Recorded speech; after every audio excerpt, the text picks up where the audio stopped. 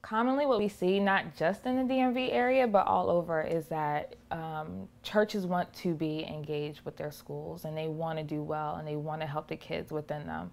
Um, but a lot of times, the way that they try and meet their needs aren't as strategic as they can be. So, for example, you might have um, a church that does, let's do a winter coat drive.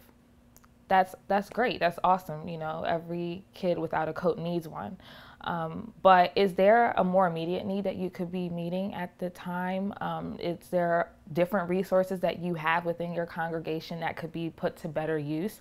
Say that the need that fall or that winter is not particularly a coat drive, but they need tutors, math tutors. So, do you have anyone in your congregation that would be um, an effective math tutor? Is there a way that you can partner to, you know, either have the kids come after school or you organize your congregants to go to the school um, and help the math teacher out. So there's what we find is that churches are doing the direct service, they are doing the charity work, but we want to make sure that we're actually meeting the needs that the school has instead of just, you know, doing abstract work that might not be actually helping in the long run. What we do is we train churches and we give them this toolkit to make their congregations no dropout zones.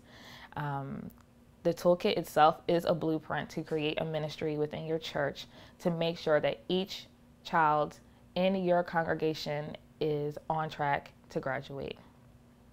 That simple. But you'd be surprised at how many churches don't even know one, how many kids are in their congregations, two, what schools they go to, and three, are they even on track to graduate? And so, if we're going to help our public schools, if we're going to help the at risk youth in those schools and our communities, let's start at home. Let's start in our own congregations and make sure that we know at least where these children are headed and build the infrastructure in house so that we can replicate it in the greater community as well.